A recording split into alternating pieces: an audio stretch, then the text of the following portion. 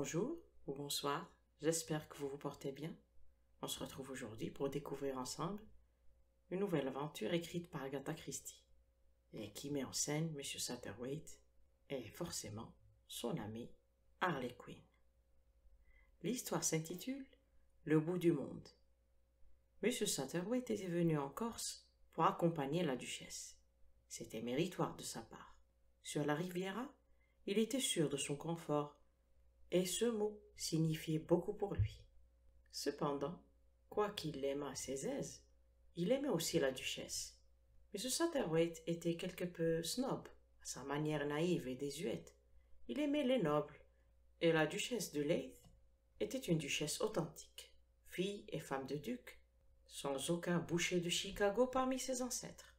Par ailleurs, c'était une vieille dame assez ridée, aux vêtements bordés de perles.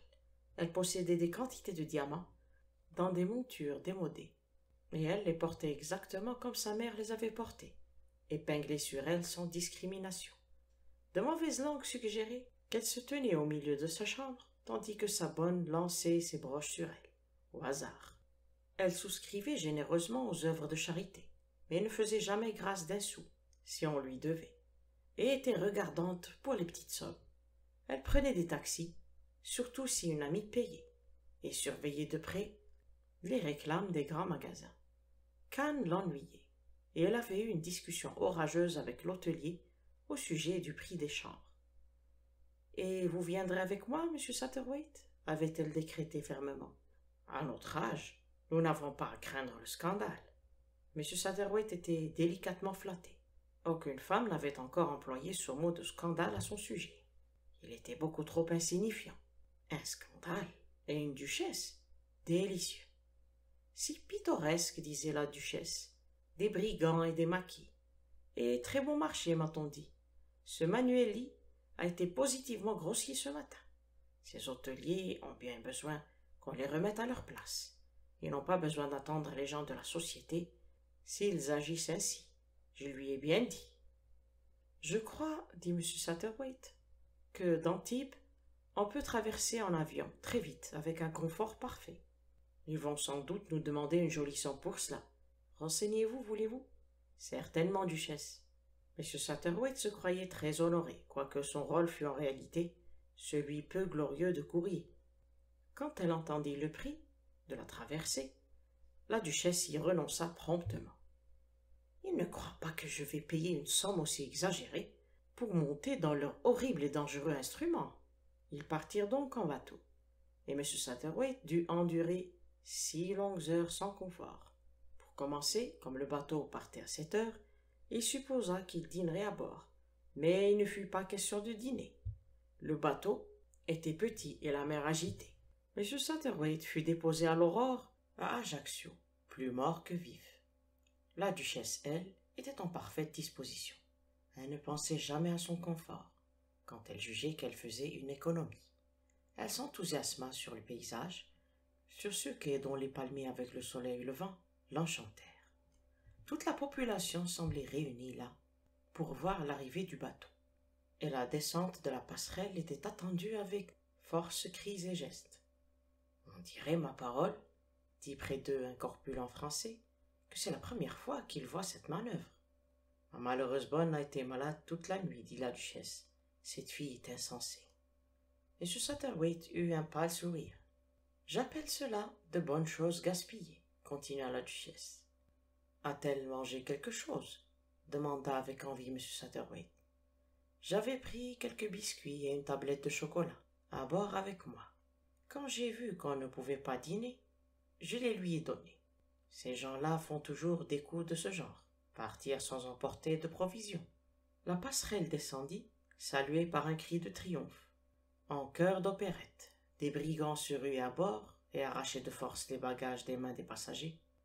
Allons, dépêchons-nous, Satterwhite. Il me faut un pain chaud et un peu de café. Mais ce la suivait. Ils furent reçus à l'hôtel par un garçon attentionné qui les conduisit dans leur chambre. Celle de la duchesse avait une salle de bain. On accompagna tout de même M. Satterwhite à une baignoire, qui parut dépendre d'une autre chambre compter sur de l'eau chaude à cette heure matinale était peu raisonnable.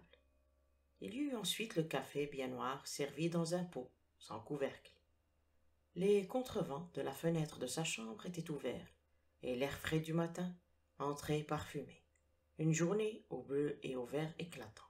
Le garçon faisait signe de la main pour signaler le passage. Ajaccio, dit-il, le plus beau port du monde. Et il disparut. Les yeux errants sur le bleu profond de la baie, M. Satterwhite, pour un peu, aurait consenti à être de son avis. Il finit de boire son café et, s'allongeant sur le lit, s'endormit profondément. Au déjeuner, la duchesse était très en verve. Excellent pour vous, Satterwhite. On voyait promener toutes vos petites manières de vieille fille.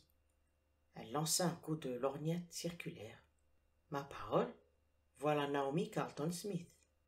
Elle désignait une jeune fille assise toute seule à une table près de la fenêtre. Sa robe semblait faite d'une toile de sac brune. Elle avait les cheveux noirs, mal arrangés. Une artiste? demanda M. Satterwhite. Il avait la marne de cataloguer les gens. Exactement, dit la duchesse. Je savais qu'elle errait dans quelque coin du globe. Pauvre comme Job, orgueilleuse comme Lucifer, et la tête près du bonnet, comme tous ces Carlton Smith. Sa mère était ma première cousine. Elle est de la série Knowlton alors. La duchesse acquiesça de la tête. Elle a été même sa pire ennemie, insista-t-elle. Intelligente d'ailleurs. Elle fut fiancée avec un jeune homme peu recommandable de la branche de Chelsea, qui a écrit des pièces ou des poèmes assez malsains. Personne n'en a voulu, bien entendu. Alors il a volé des bijoux et a été arrêté. J'ai oublié ce qu'on lui a donné. Cinq ans de prison, je crois. Mais vous devez vous en souvenir. C'était l'hiver dernier. L'hiver dernier, j'étais en Égypte, expliqua M. Satterway. J'étais assez fatigué à la fin de janvier, et les docteurs insistèrent pour que je parte. J'ai beaucoup mangé. Sa voix a eu une note de vrai regret. Cet enfant me semble triste, dit la duchesse, braquant à nouveau sa lorgnette. Je ne peux pas me le permettre. Se dirigeant vers la porte, elle s'arrêta auprès de la table de Miss Carlton Smith et toucha la jeune fille à l'épaule. Eh bien, Naomi, vous n'avez pas l'air de me reconnaître. Naomi se leva d'assez mauvaise grâce. Oui, je vous reconnais, duchesse. Je vous ai vu entrer. Je trouvais très naturel que vous. vous ne me reconnaissiez pas. Les mots traînaient paresseusement avec toutes les apparences d'une entière indifférence. Quand vous aurez fini de déjeuner, venez me parler sur la terrasse, ordonna la duchesse. Très bien. Naomi bâilla. Manière choquante, dit la duchesse en revenant vers M. Satterwhite. Comme chez tous les Carlton Smith. Ils prirent leur café dehors, au soleil. Ils étaient là depuis cinq minutes à peine, quand Naomi Carlton Smith sortit lentement de l'hôtel et les rejoignit. Elle se laissa tomber mollement sur une chaise, les jambes peu gracieusement allongées devant elle. Figure curieuse. Elle avait le menton en avant et des yeux gris très enfoncés. La physionomie était intelligente et grave. Il lui manquait seulement d'être jolie. Alors, Naomi, dit la duchesse sèchement, que devenez-vous? Je ne sais pas, j'attends que le temps passe. Vous peignez Un peu. Montrez-moi vos œuvres. Naomi sourit peu intimidée par ce ton autoritaire. Elle était amusée. Elle entra dans l'hôtel et ressortit avec un carton. Vous ne les aimerez pas, duchesse, dit-elle en avertissant. Dites ce que vous pensez, vous ne me fâcherez pas. M. Satterwhite approcha sa chaise. Il était intéressé. Il le devint aussitôt bien davantage. La duchesse, elle, ne sympathisait vraiment pas. Je ne sais même pas dans quel sens il faut regarder, gémit-elle.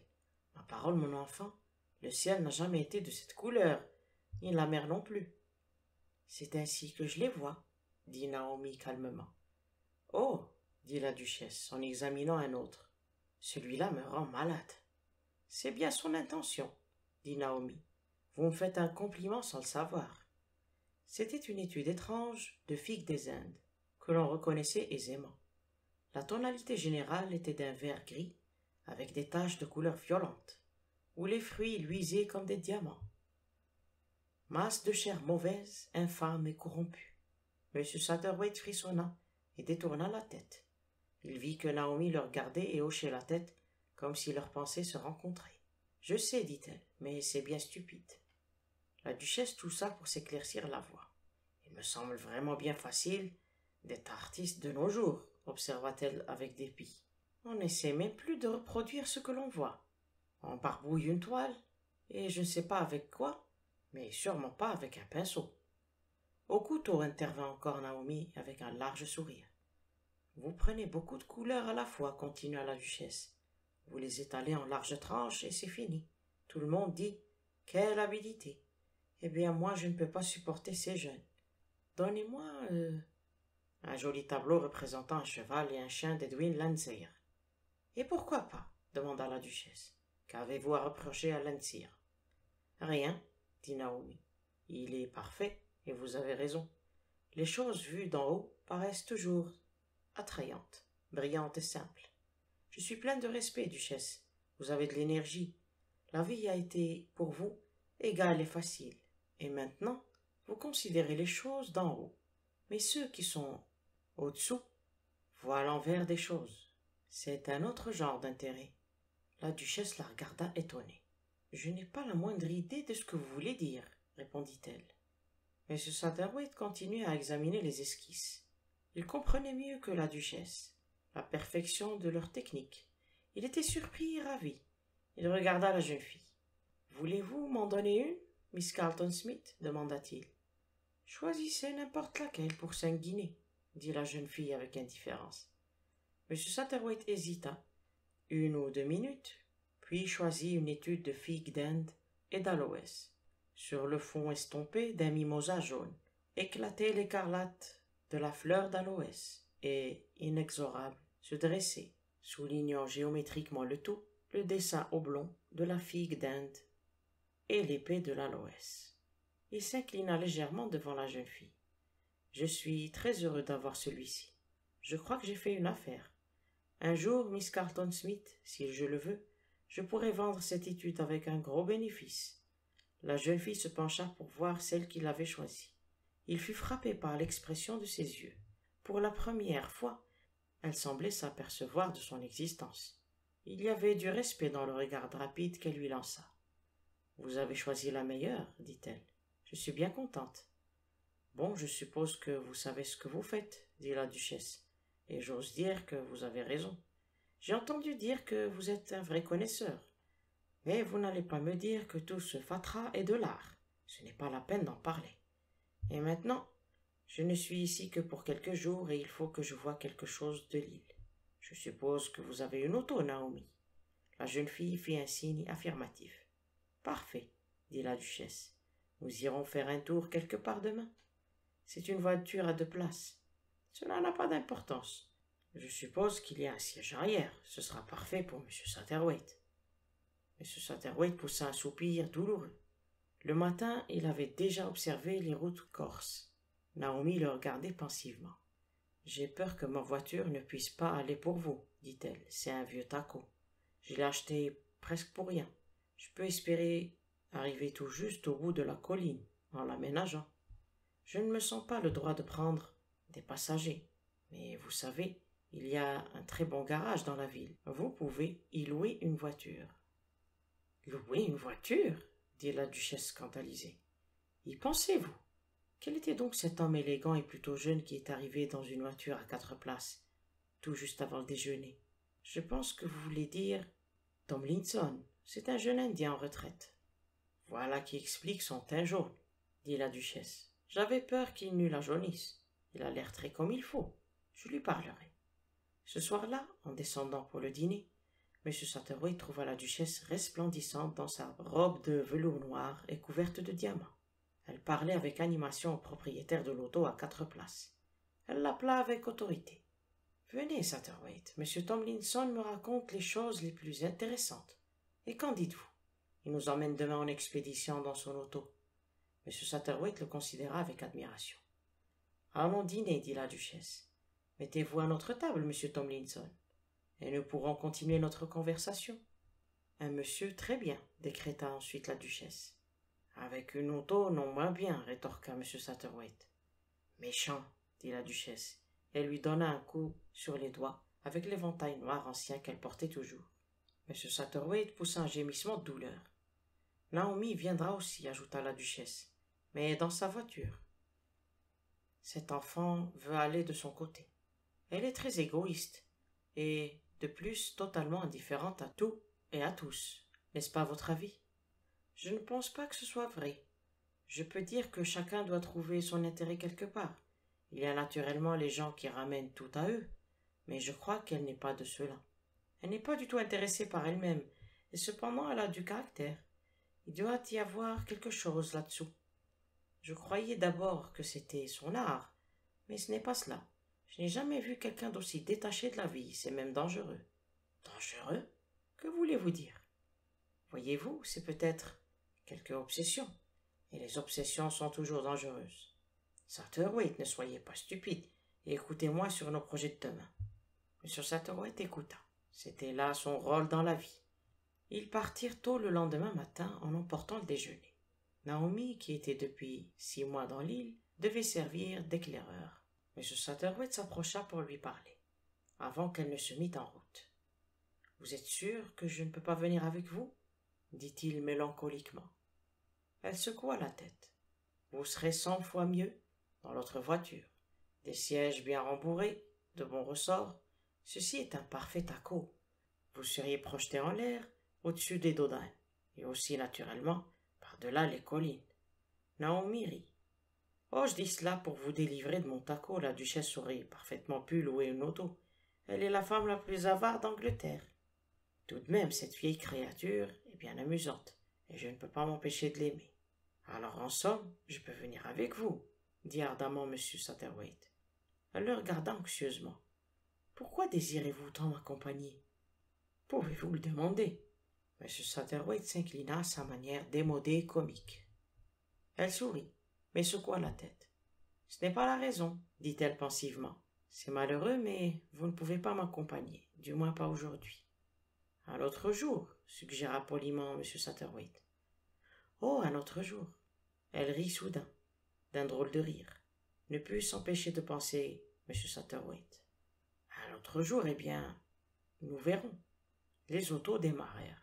Elles traversèrent la ville, puis longèrent la longue courbe de la baie, s'enfonçant dans les terres pour traverser une rivière et revenir à la côte aux innombrables petites criques. Puis ils commencèrent à monter. Ils franchirent des séries de tournants à vous secouer les nerfs, des crêtes tortueuses et sinueuses.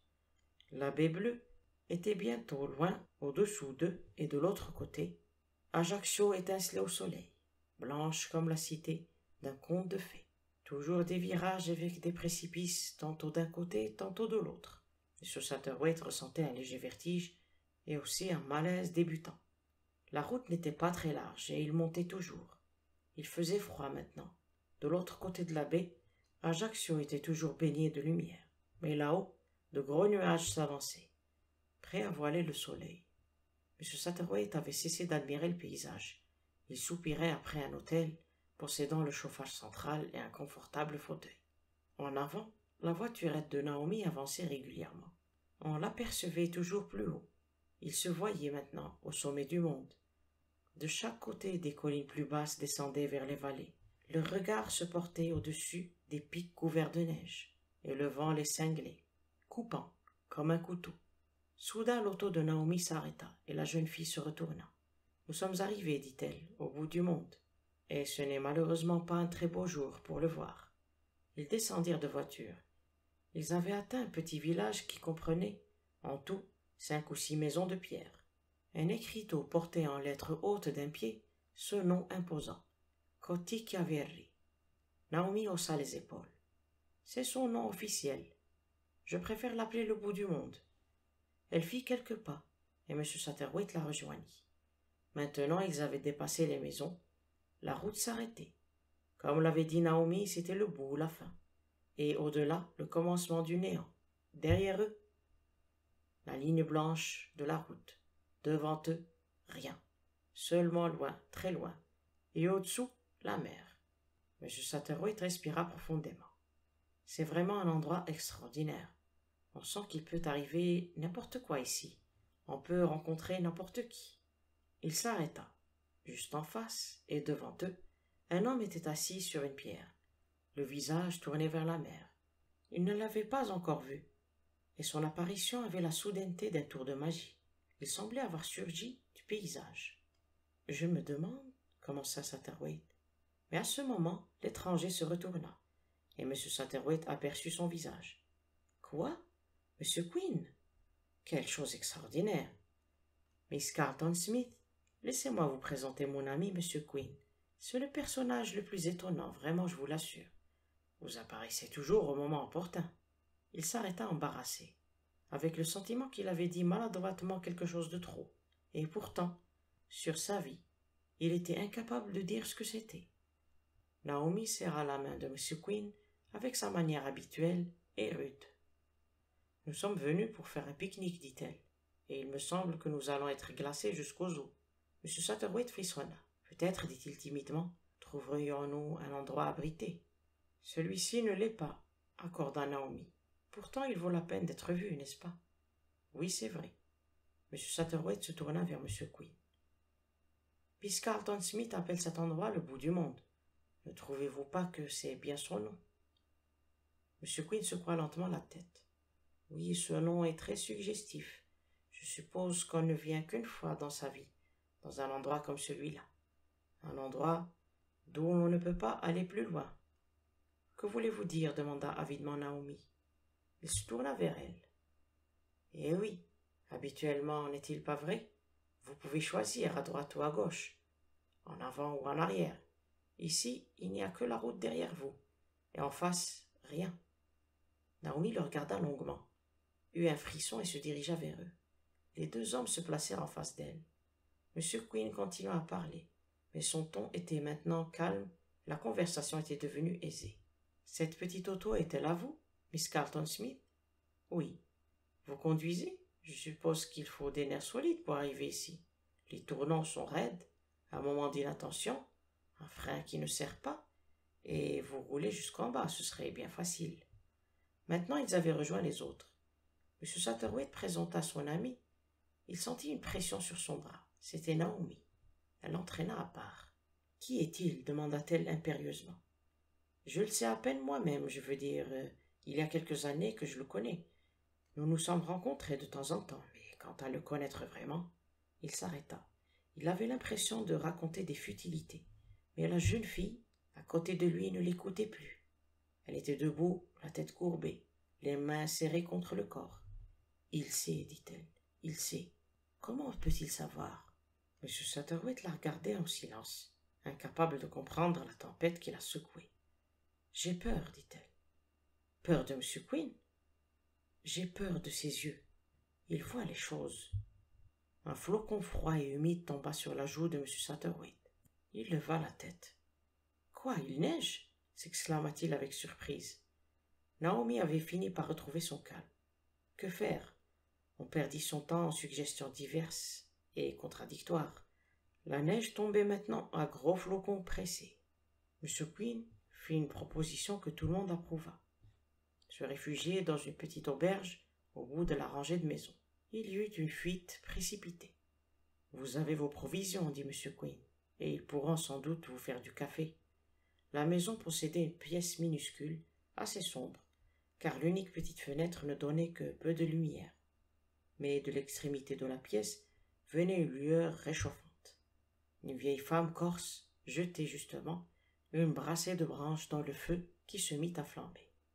À sa lumière, les nouveaux venus s'aperçurent que d'autres personnes étaient arrivées avant eux. Trois d'entre elles étaient assises au bout d'une table de bois nu. Cette scène avait quelque chose d'irréel aux yeux de M. Satterwhite. Les personnes lui parurent encore plus irréelles. La femme assise au bout de la table ressemblait à une duchesse. Je veux dire qu'elle répondait à l'idée qu'on se fait habituellement d'une duchesse. Elle était la grande dame de théâtre. Sa tête aristocratique était hautaine, ses cheveux blancs merveilleusement peignés, habillée en gris, les draperies souples de ses vêtements tombaient en plis artistiques. Son menton était appuyé sur l'une de ses mains, longue et blanche. Son autre main tenait un papier blanc, taché de pâté de foie gras. À sa droite se trouvait un homme au visage pâle, avec des cheveux très noirs et des lunettes d'écaille très élégamment habillé.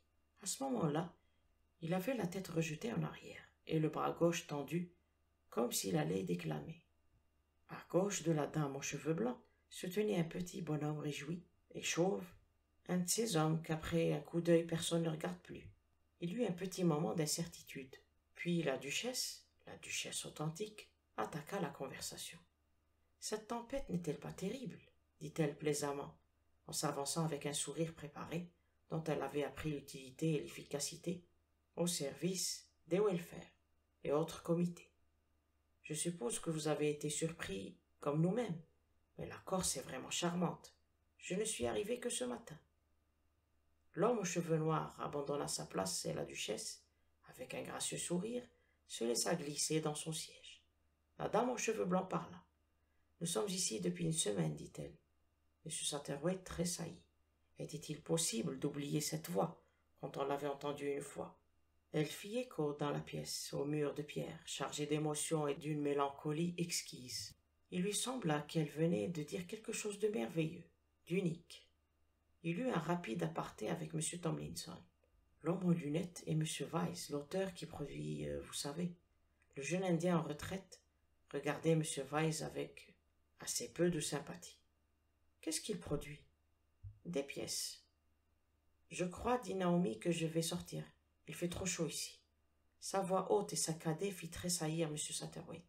Elle se dirigea presque en automate, semblait-il, vers la porte, en frôlant M. Tomlinson. Mais sur le pas de la porte, elle se trouva face à face avec M. Quinn, qui lui barra la route. Rentrez et asseyez-vous, dit-il. Sa voix était pleine d'autorité. À la grande surprise de M. Satterwhite, la jeune fille hésita une minute, puis obéit. Elle s'assit à la table, aussi loin que possible des autres. M. Satterwhite s'avança vers l'auteur. Vous ne pouvez pas vous souvenir de moi, commença-t-il. Mon nom est Satterwhite. En effet, une longue main osseuse surgit et enveloppa la sienne d'une forte étreinte. Quelle surprise, cher ami. Vous retrouvez ici Vous connaissez Miss Nunn, naturellement. M. Satterwhite sursauta. Il n'était pas étonnant que cette voix lui fût familière. Des milliers de personnes dans toute l'Angleterre avaient frémi à ces merveilleux accents, si émouvants. Rosina Nunn, la plus grande actrice sentimentale d'Angleterre. M. Satterwhite aussi avait subi le charme de sa diction. Il n'y avait personne comme elle pour interpréter un rôle, pour faire ressortir les nuances les plus subtiles. Elle représentait pour lui l'actrice intelligente et sensible qui comprenait son rôle et en pénétrait l'âme. Il était excusable de ne pas l'avoir reconnue. Rosina Nunn avait des goûts changeants. Pendant vingt-cinq ans de sa vie, elle avait été blonde. Après une tournée aux États-Unis, elle était revenue noire comme un corbeau. Avait pris la tragédie au sérieux. C'était fait, marquise française, était sa dernière fantaisie. Ah, j'oubliais, monsieur Judd, le mari de Miss Nunn dit Weiss en présentant avec insouciance l'homme chauve. M. Satterwhite savait que Rosina Nunn avait eu plusieurs maris. M. Judd était évidemment le dernier.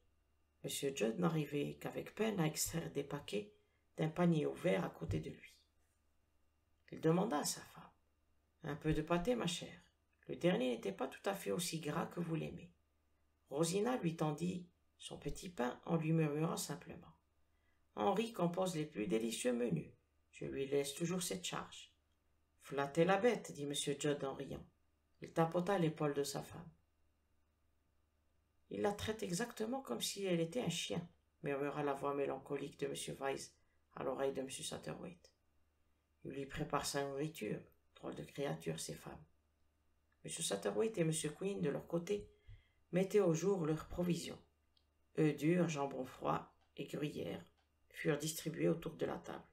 La duchesse et Miss Nunn paraissaient plongées dans des confidences à voix basse. On percevait des bribes de la voix profonde de contralto de l'actrice. Le pain doit être légèrement grillé, vous entendez, avec juste une très mince couche de marmelade. Roulez et mettez au four une minute, pas plus.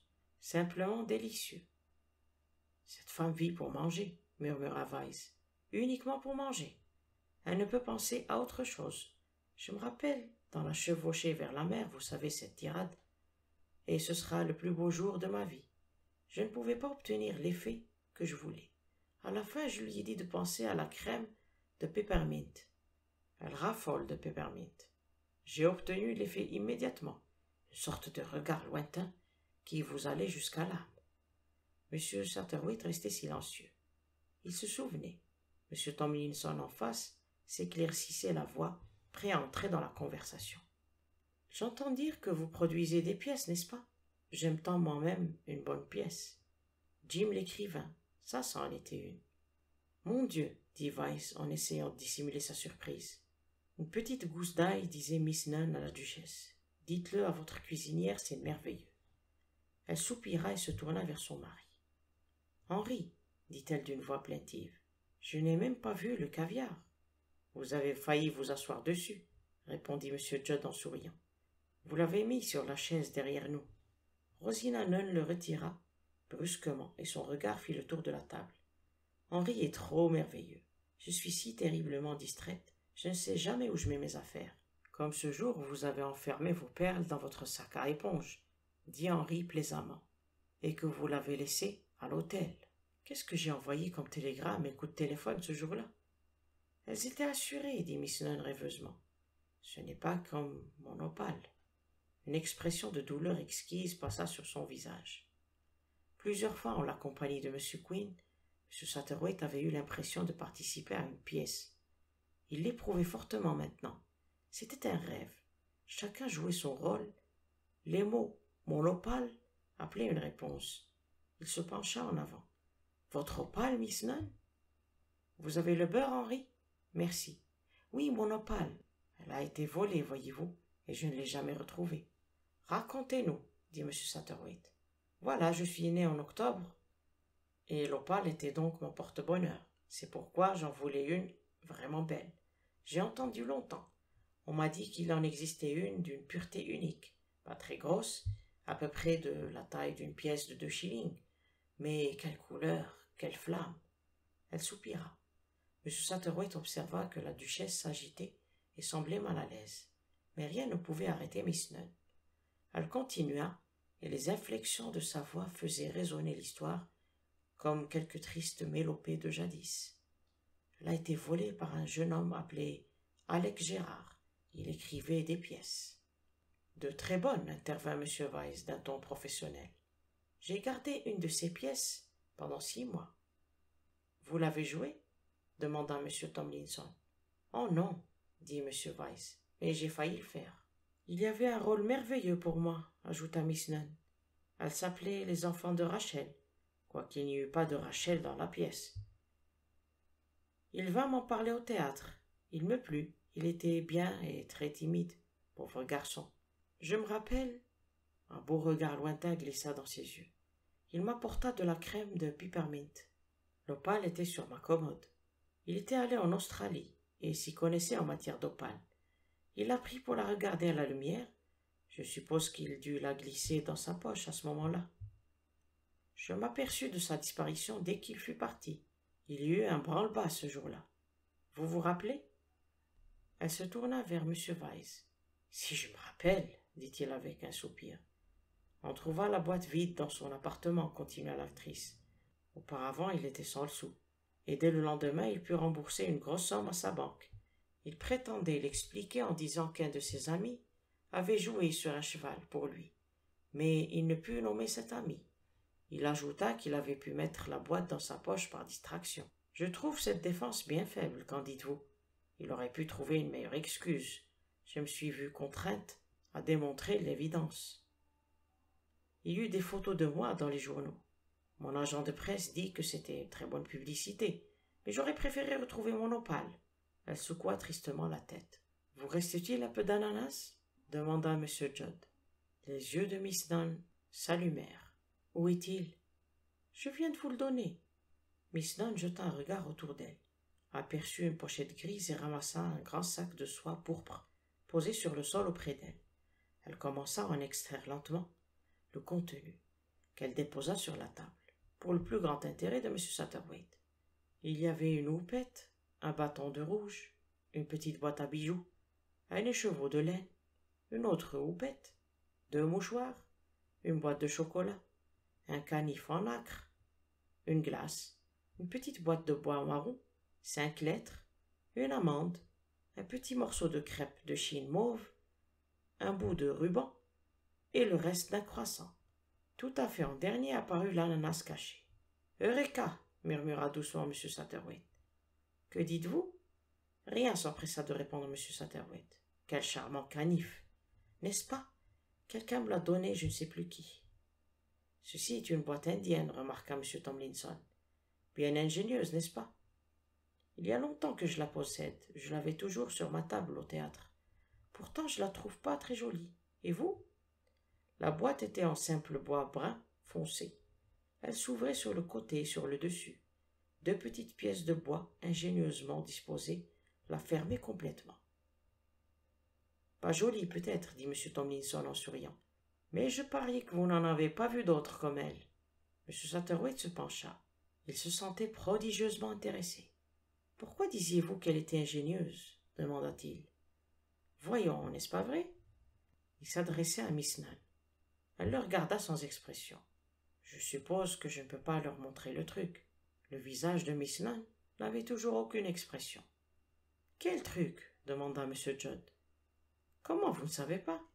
Il regarda tour à tour les visages interrogateurs qui l'entouraient. Imaginez.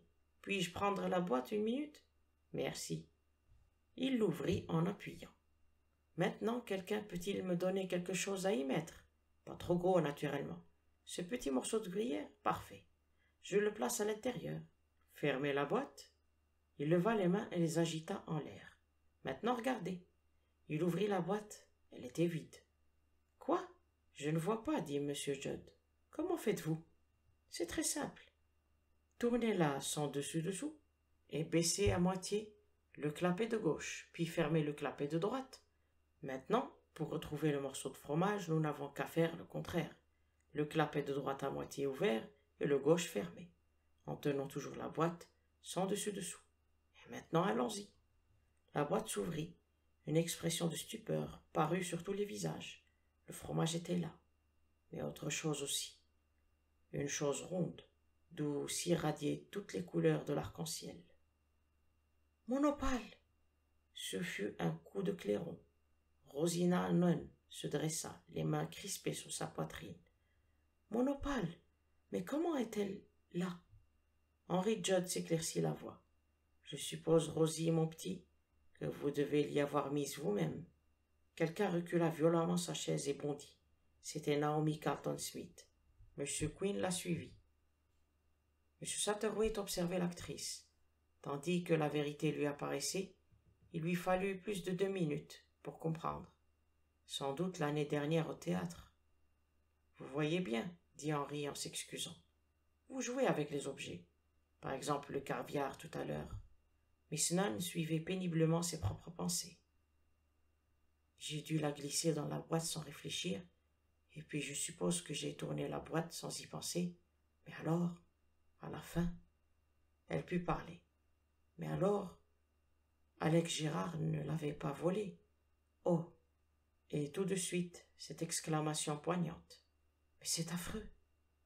Mais, dit M. Weiss, tout peut s'arranger maintenant. Oui, mais il est en prison depuis un an. Elle se tourna brusquement vers la duchesse. Qui est cette jeune fille qui vient de sortir? Miss Carlton Smith, qui était fiancée avec M. Gérard. Elle a eu un immense chagrin. M. Satterwhite disparut sans bruit. La neige ne tombait plus. Naomi s'était assise sur le mur de pierre. Elle tenait à la main un carnet d'esquisses. Quelques crayons de couleur étaient dispersés autour d'elle. M. Quinn se tenait debout à ses côtés. Elle tendit son carnet à M. Satterwhite. Le dessin paraissait informe, mais il portait la marque du génie. Un tourbillon échevelé de flocons de neige s'enlevait avec au centre une silhouette. Excellent, dit M. Satterwhite. M. Quinn regardait le ciel. La tempête est finie, dit-il. Les routes seront glissantes, je ne pense pas qu'il y ait maintenant d'accident à craindre. Non, il n'y aura pas d'accident, dit Naomi. Sa voix avait maintenant une expression que M. Satterwhite ne connaissait pas. Elle tourna vers lui un sourire rayonnant. M. Satterwhite pour entrer avec moi s'il le veut. Il comprit alors jusqu'à quelle extrémité le désespoir l'avait amené. Bon, dit M. Quinn, je dois maintenant vous dire adieu. Il s'en alla. Où va-t-il? Dit M. Satterwhite en le suivant du regard. Il revient à l'endroit d'où il vient, je suppose, dit Naomi d'une voix étrange. Mais, il n'y a rien au-delà, dit M. Satterwhite, car M. Quinn se dirigeait vers l'endroit sur le bord de la falaise où il l'avait vu d'abord. Vous avez dit vous-même que c'était le bout du monde. Il lui tendit son carnet d'esquisses. Oui, excellent, dit-il, très ressemblant. Mais pourquoi l'avez-vous représenté sous cet aspect que je n'ai point vu? C'est ainsi que je le vois, dit Naomi Carlton Smith. Leurs regards se croisèrent une seconde. Fin. J'espère que l'histoire vous a plu. Certes un peu particulière et plutôt étrange. Et je tiens à dédier cette lecture, je tiens à dédier cette lecture à tous les Corses qui peuvent éventuellement passer par là. Alors je vous dis à très bientôt. Prenez soin de vous. Au revoir et merci.